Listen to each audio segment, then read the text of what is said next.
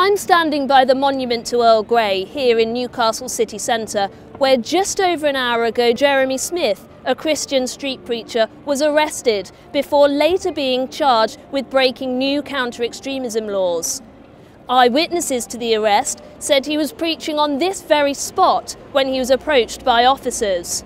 There was a brief conversation and he was taken away by police car, seemingly under arrest.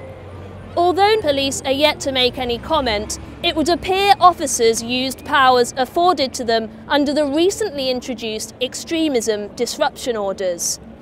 I've been speaking to people who work nearby, and the general feeling here is one of real surprise. One local shopkeeper, who did not want to be identified, said they are appalled at his treatment.